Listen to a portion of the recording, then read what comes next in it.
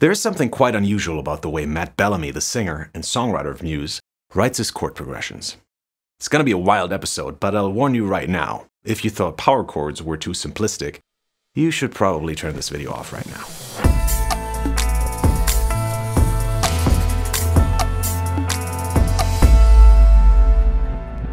What's up everyone, it's Friedemann Findeisen from Holistic Songwriting, the songwriting coach with a beard. Welcome to season 2 of the Artist Series where we look at the biggest rock artists in the world and what we can learn from them. This time, we're taking a close look at Muse and specifically how they use chords in their songwriting.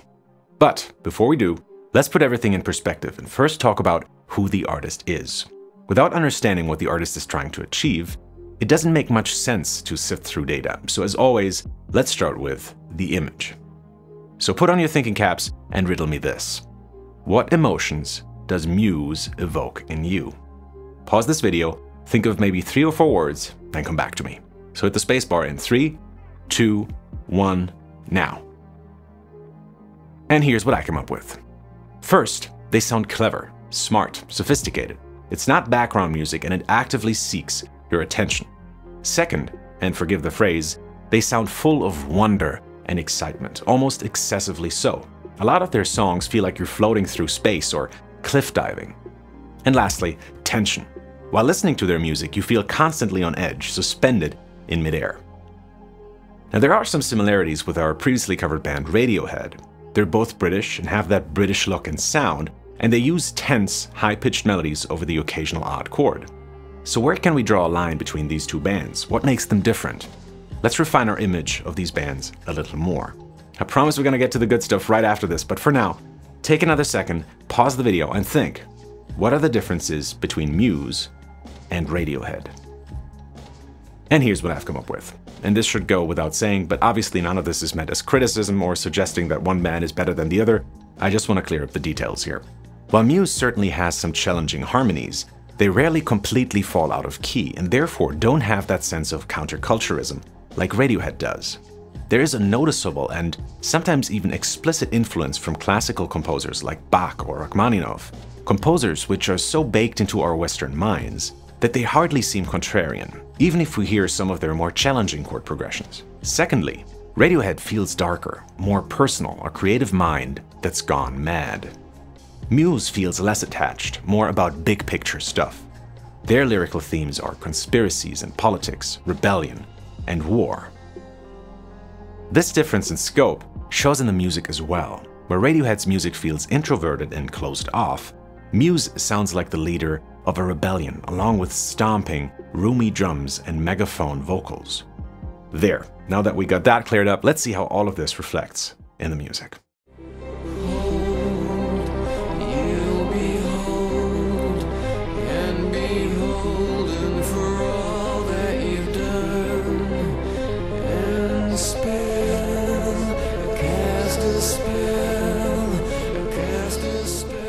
This little example really captures a whole lot of what we've been talking about. It sounds clever, classical, tense, and full of wonder.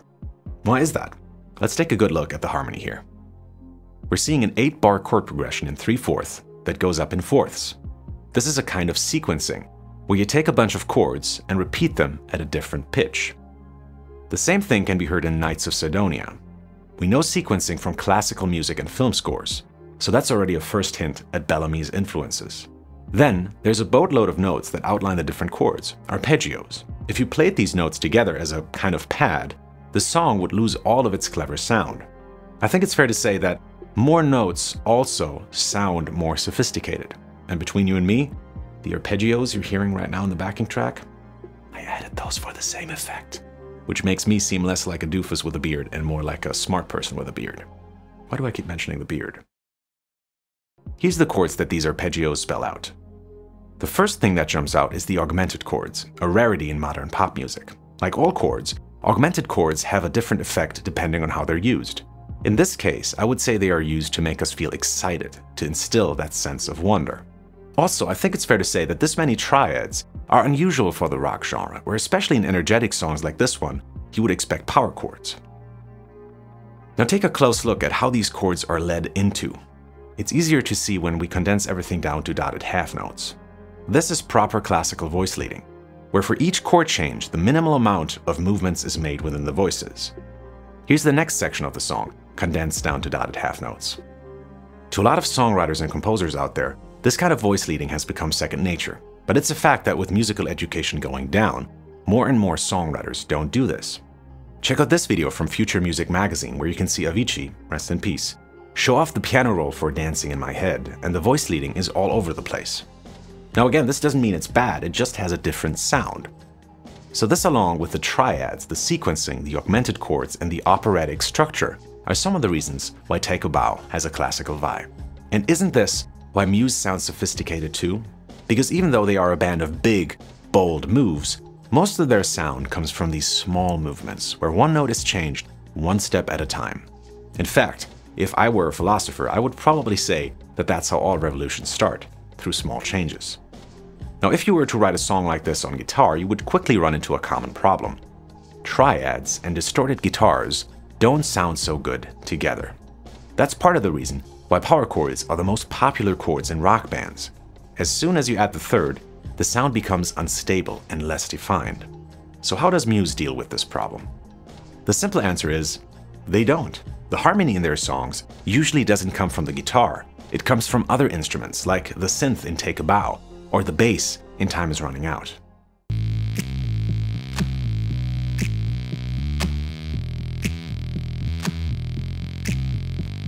Note that both of these don't play actual chords, they essentially play melodies, counterpoints that imply the harmony. Look at this bass lick. First of all, if we ignore the octave jumps, we can see how smoothly the bass walks, using stepwise motion to reach each new chord. And except for the E major chord, all other chords are outlined by this lick. We get the root and minor third of the A minor, the minor seventh and third of the B diminished, followed by a chromatic passing tone going to the E major, and we end on the F and G with the root and fifth, respectively. Let's look at the chords next. We've got a 2-5 in minor, followed by a flat 6, flat 7, 1. These are both very common cadences in classical music as well. This is part of the reason why the bass lick flows so well, but it also instills that classical, sophisticated sound. Let's look at another bass riff, this time from Hysteria.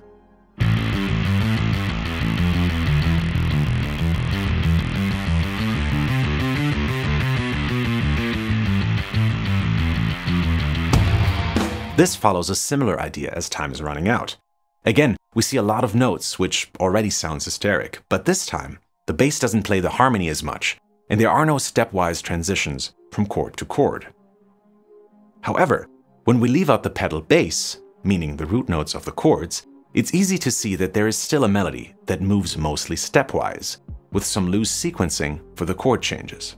In other words, the bass takes up two roles. It gives us the fundamentals, the bass notes, and it gives us a riff on top of that.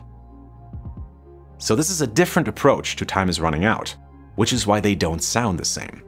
Different methods yield different results. And here's yet another example of an intro riff with a lot of notes that uses a different approach entirely.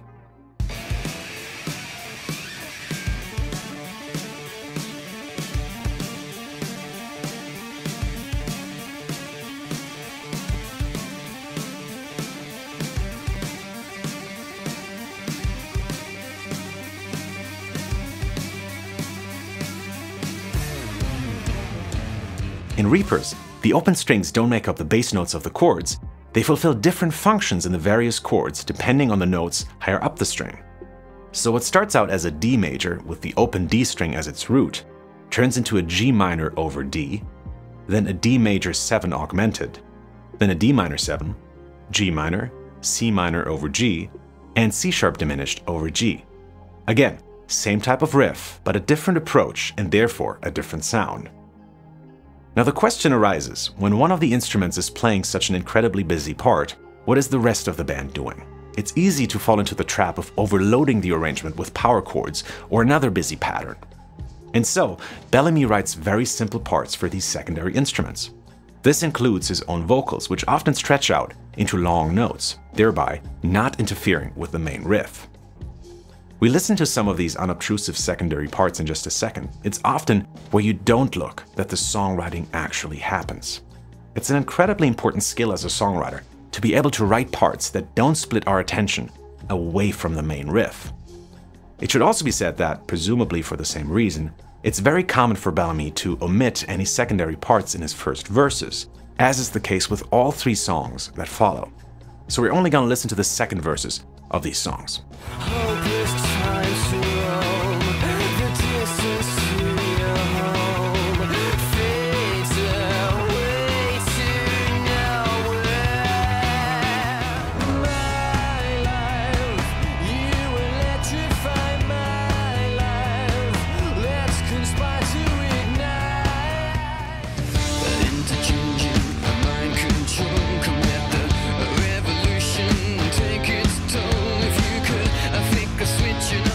Let's talk about two more techniques Bellamy likes to use when it comes to harmony.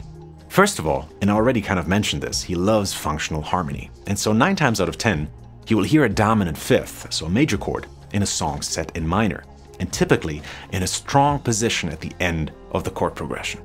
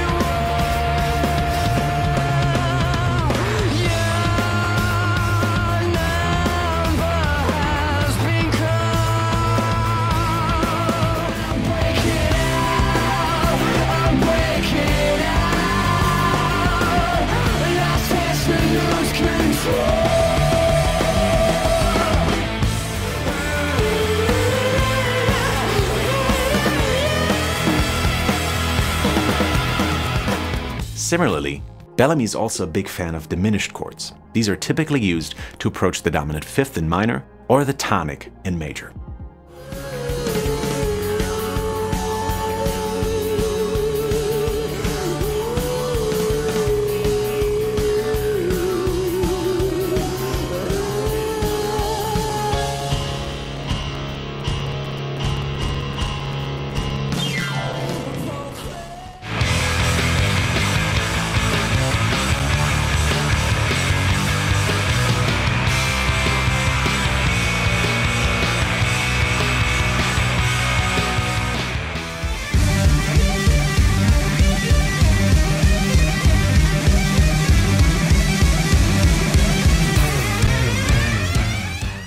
So there you have it. Tension, a sense of wonder, and sophistication. I think it's no coincidence that Bellamy likes to write about conspiracy theories. His music sounds just like them, completely ridiculous and over the top, literally augmented, but in a fascinating way with an obsession to detail. If you enjoyed this video, please like, share, subscribe, and let me know in the comments which rock artist you'd like me to do next. Also, while you're here, why not subscribe to the Holistic Songwriting Live channel, where every Monday at 9 a.m. PST, I answer your questions in a live 60-minute Q&A session. This is Friedemann Findeisen from Holistic Songwriting. Now take care and stay gefährlich.